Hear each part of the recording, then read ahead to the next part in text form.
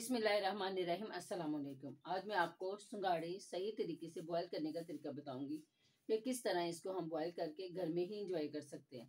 तो सीज़न की से है फ्रूट ही कहते हैं इसे, लेकिन इसके फ़ायदे बेशुमार हैं। मैं जब ये रेडी हो जाएँगे, फिर मैं आपको इसके फ़ायदे सारे बताऊँगी कि ये हम क्यों इस्तेमाल करना चाहते हैं और लाजमी क्यों करें कौन लोग हैं जो ज़्यादा मकदार में कर सकते हैं और कितना हमें लेना चाहिए और जो नहीं कर सकते, वो किस सूरत में हम ये इस्तेमाल नहीं कर सकते।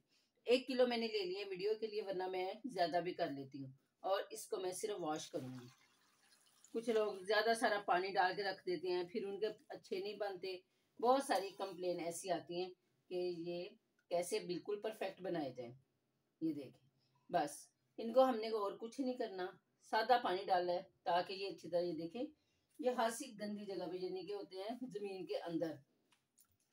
तो अब मैं इसको एक गेज की लेके उसमें डाल दूँगी।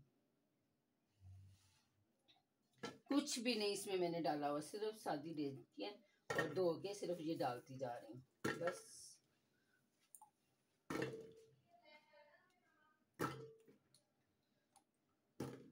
ये सारे मैं इसमें डाल के चूल्हा ऑन करूँगी। ज़रा भी नहीं पानी डालना। कोशिश करेंगे कि मैं आपको मुकम्मल तौर पे इसकी सारी बताऊँगी। इसके अंदर ही खासा वाटर होता है। ये ये देखिए कितना गंदा इसके अंदर से पानी हो और चूल्हा करेंगे ऑन मीडियम ना लाइट ना ज़्यादा, ना कम। इसको ऊपर से हम डांप देंगे। मैं पूरे आठ मिनट के लिए घड़ी से टाइम देख के इसे डांपूँगी। फिर इसके अंदर जो पानी निकला होगा, उसे मैं निकाल लूँगी। फिर दम देंगे दस मिनट के लिए।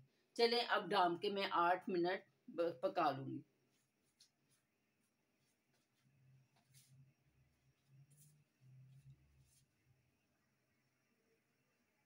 आठ मिनट हो गए मैंने टाइम देख लिया, ये देखिए इसके नीचे से पानी नहीं निकला। कुछ लोगों के पानी निकलता है, कुछ सिंगाड़ों के पानी नहीं निकलता। इसको हमने करना है, इस तरह शेक करना है, कि ऊपर नीचे सारे हो जाए। तो ऊपर नीचे करके अब हम हल्की आँच पे, दम वाली पे दस मिनट इनको पड़ा रहेंगे इसी तरह डांप के। अब दस मिनट के बाद फिर मैं आपको इसकी सूरत दिखाऊँगी।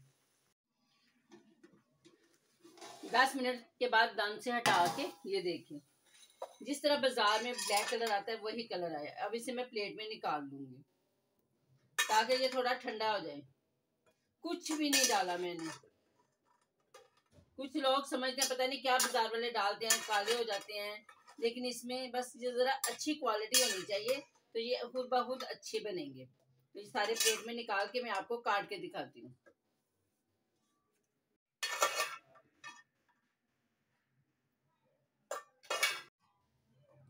सारे प्लेट में मैंने निकाल ली और ये मैं आपको काट के दिखाती हूँ। इस तरह बाज़ार में ये साइड से इस तरह हल्का सा कट लगा देते हैं।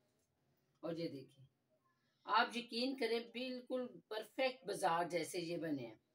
तो ये मैं आपको बताना चाह रही थी, जिन लोगों को रेशा बलगम हो, वो ये इस्तेमाल ना करें। जिन लोगों को घुटनों में, जोड़ों में दर्द है, वो चाहे दो किलो डेली इस्तेमाल कर लें, उनको मज़ा आ जाएगा। और बिल्कुल ठीक, परफेक्ट हमारा आजमाया हुआ है। उनके दर्द ठीक हो जाएगी।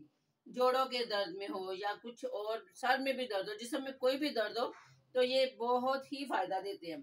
तो आप ये एक दवा समझ के इस्तेमाल करें, सर्दियों की सुगार समझ के इस्तेमाल करें, बनाएँ इंजॉय करें, और आप कमेंट्स में मुझे बताएँ कि आपको मेरी ये रेसिपी ये बनाने का तरीका सिंपल सा, आसान कैसा लगा। बनाएँ इंजॉय करें, मुझे दुआ में याद रखें, मेरे चैनल को सब्सक्राइब करें वीडियो को लाइक करें। शुक्रिया, अल्लाह हाफिज़।